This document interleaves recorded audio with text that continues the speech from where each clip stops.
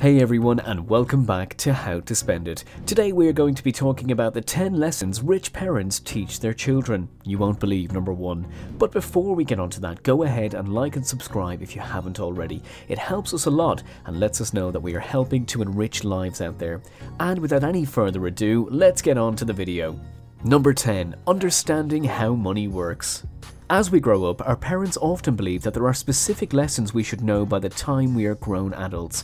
This could be how to change the oil in the car to balancing a checkbook. Rich parents may have a different set of lessons they wish to share, as they know their children will face different challenges than those who do not have as much in their pocket. One of the first lessons we are looking at is the idea of understanding how money works in the world. Have you ever been one to ask why you are paid the amount you are or how you can improve your finances? These types of questions are encouraged for the younger generation to ask to know what is coming along as they work and earn. This will help them to understand the concept of value to the amount that is earned and realize that it can be difficult to earn that paycheck. Number 9. Assets versus liabilities. Have you ever received your paycheck and thought, great, now I can go buy that new shirt I saw? When rich parents receive their earnings for the hard work they put in, they tend to look beyond what can create gratification in the short term. They see the amount and teach their children to search for an asset that will help to continue in creating their wealth. This could be the idea of purchasing a second home and renting it out to others, allowing it to build passive income. Now, we aren't saying they only go for the assets and never have any fun, but by buying assets, the money earned from them can buy that new coat or or new car. If you have to eventually sell the new car, revenue is still being earned from the assets. This is different from a liability, such as immediately buying cash for that new car. The car requires you to pay out and gives nothing in return.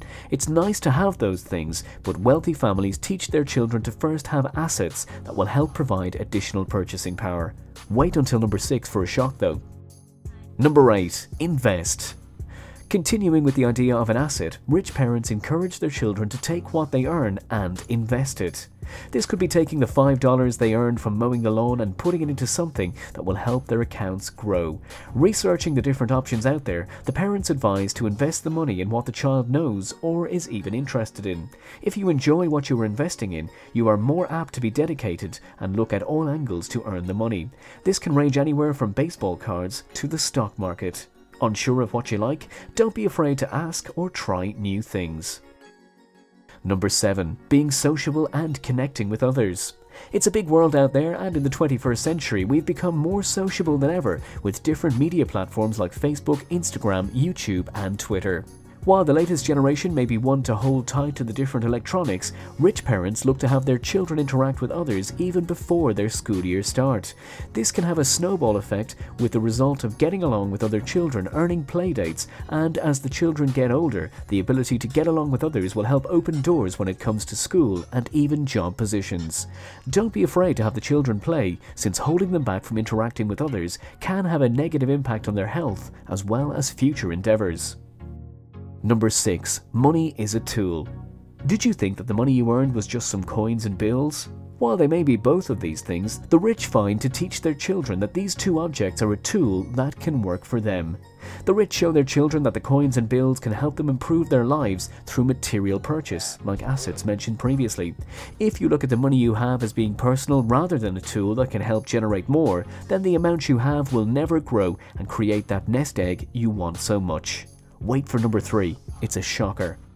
Number 5. Knowledge is more valuable than money in the long run. We are halfway through the list of what the rich teach their children. Have any of the points planted a seed in your mind to teach your own? If not, we have a few more points to go over. Our number 5 spot is the idea that knowledge is more valuable than money overall. Now there are some who might think this has to do with reading and storing the information for later use. What we mean about this point is being able to build or invest in yourself so that you become an asset, there's that word again, to the company and those around you. If you are able to show those you work with or interact with that you have a worth that can benefit them, they will realize that you can solve a problem they might have or fill a position that needs a leader and thinker. Proving to others will allow you to get farther than money will. Number 4. Solving problems. It could be as simple as picking up a pencil that has fallen from your desk but is just out of reach. If you are able to see the problem before you, you may realize you are not the only one who has that problem. The rich teach their children that one of the ways of getting rich is by seeing a problem that affects more than those within the home and build a solution that many will want to use in the end. Providing this solution will help to relieve some stress the masses may find they are having from the issue and put coin in your pocket. It is very similar to supply and demand. The public demands a solution for their problem that they cannot find on their own and you are the one to supply it for a price. Never be afraid to look at the problems from all angles to find that sorely needed solution. Number 3. Using good debt instead of bad debt. Here we are with the top three of the lessons. Our next point to look at is the idea of using good debt versus bad debt. There is a difference, you ask. In this case, there is. The rich teach their children that if you are going to go into debt, then it should be for borrowing money that will help you earn money. For example, taking out a loan that will help start a business that ultimately earns back the money borrowed, and more. This is considered good debt, while taking credit cards for a new TV or clothes can be viewed as bad, as it does not generate any earnings to help you in the end. Wait until number 1 for a real surprise. Number 2. Success isn't free. As rich children grow, they have the perks with the help from their parents' money that less fortunate children may not have. It could mean a new pair of shoes instead of the same ones from last year. While the children have these perks, the parents teach them that the success they have to get those shoes did not come free or at the drop of a hat.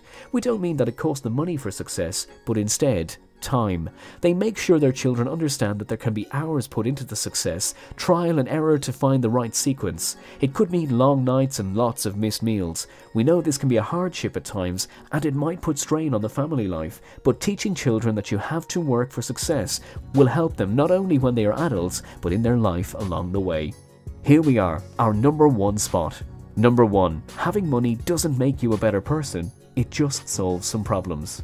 There are some figures that we know who have more money than they know what to do with and are pretty simple people, Daddy Warbucks from Annie and even Uncle Scrooge from DuckTales.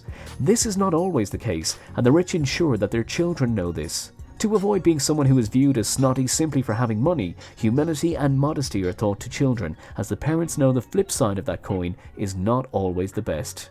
Well guys, that's it for this video. Click the links above to check out some of our other videos. Also, don't forget to like and subscribe for more content like this. We have many great videos coming up. See ya in the next video.